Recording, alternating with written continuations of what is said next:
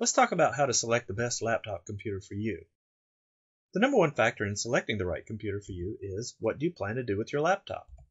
There are three basic classes of laptops available. There's ultralights, general purpose, and desktop replacement. An ultralight is good for the frequent traveler, someone whose lightweight and processing power is important and they're willing to pay a price for the lightweight. A general purpose computer is good for most people for most applications, for example, word processing, photo and video editing, internet applications, and email. Desktop replacements are really more for the special market of engineering or compute intensive applications. The computer is portable, but it's generally too heavy for true mobility. If you feel this is the class you need, you should check the computer requirements for the specialized software you plan to use, and then buy a laptop that will meet these requirements. Step 1 is to determine your needs. Step 2 is to determine your price range. And step 3 is to find a laptop that meets steps 1 and 2. An important thing to remember is the laptop you buy today is going to be the laptop you have tomorrow. In other words, you're not likely going to upgrade it. In most cases, upgrading a laptop is difficult. And a year or two from now, a new laptop will cost you about the same as an upgrade. It might even cost you less to buy a whole new computer. In general, you can't upgrade the processor or video card and even replacing the disk drive can be difficult. If slots are available, upgrading the RAM is pretty easy in most cases. Ultralights typically use solid-state disks instead of the traditional hard drive, which you can't replace or upgrade. But solid-state disks are expensive, so you will get a lot less hard disk capacity with a solid-state disk than with traditional hard drives. My list of best rated laptops available at laptopsclub.com is based on the most important features most people need in a laptop. The primary features you need to consider include how much memory you will have. Generally, you want at least 2 gigabytes, and 4 gigabytes is much better. What is your hard disk capacity? At least 120 gigabytes is required. 300 gigabytes is much better.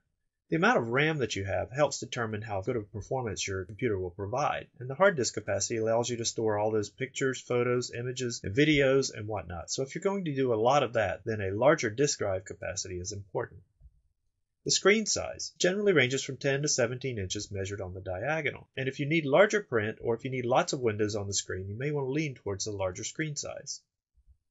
The number of USB ports is also important. You will need at least two, and four is much better. The more ports you have, the more simultaneous things you can do, such as charging up your MP3 or smartphone devices through the USB port, hooking up an external mouse, hooking up an external keyboard, or even an external disk drive. And of course, customer satisfaction, battery life, and whether you have a rewritable DVD or CD drive is also important. Pretty much all computers are made in the same factories in China, and most customer support has been outsourced to India. So the specific brand is not so important anymore. If you're especially concerned about customer support, however, you may want to consider getting an extended warranty. Special features to consider. If you have special performance concerns, here are a few more factors you should consider. The hard disk speed. Generally you want it to be 7200 revolutions per minute or faster. Solid state disks are also fast, but as I mentioned before, they are expensive. HDMI ports for HDTV connection and playback, and surround sound speakers for your entertainment.